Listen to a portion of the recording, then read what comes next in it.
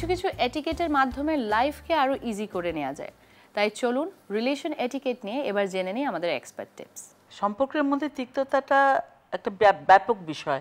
কিন্তু আজকে আমরা যে যে বিষয় নিয়ে কথা বলছি, সেটা হচ্ছে ছোট ছোট ঘটনা যেগুলো স্বামী স্ত্রীর মধ্যে ঘটে, যেখান থেকে তিক্ততা শুরু হতে পারে। তো সেই ছোট ছোট ঘটনার তিক্ততা নিয়ে আজকে আমরা একটু কথা বলব। ধরুন স্বামী কোনো সময় কাপড়টা ছেড়ে কাপড়টা গুছিয়ে রাখছে না। অথচ স্ত্রী সবসময় কাপড়টা গুছিয়ে রাখার পক্ষে এবং নিজের কাপড়টা তো গুছিয়ে রাখছেই। সাথে সাথে স্বামীকে কিছু না বলে সে স্বামীর কাপড়টাও গুছিয়ে দিচ্ছে। দিনের পর দিন এরকম ঘটতে থাকে যখন, তখন একটা সময় এসে কিন্তু বিষয়টা তিক্ত হয়ে যায়। তখন মনে হয় যে আমারও তো চাকরি আছে, আমারও তো কাজ আছে ছোট ছোট বাচ্চা ওদেরকে দেখতে হবে।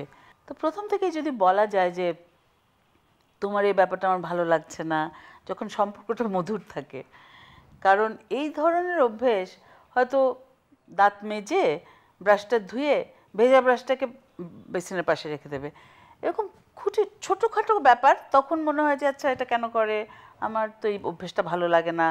বা বউ হয়তো ওয়াইফ হয়তো ঘুম থেকে উঠে চুলটাকে জাস্ট একটু বেঁধে নিয়ে চাটা বানায়। চুলটাকে পরিপাটি করে আঁচড়ে নেয় না প্রথমেই। সেটা হয়তো হাজব্যান্ডের ভালো লাগে না।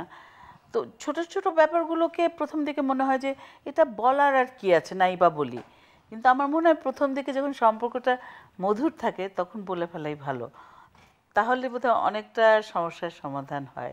যদিও আমি মনে করি যে কিছু কিছু অভ্যেস আছে যেগুলো একদম মুদ্রা দোষের মতো মানে কিছুতেই ছুটতে চায় না চিটাগুড়ের মতো, তবুও চেষ্টা করতে ক্ষতি কি?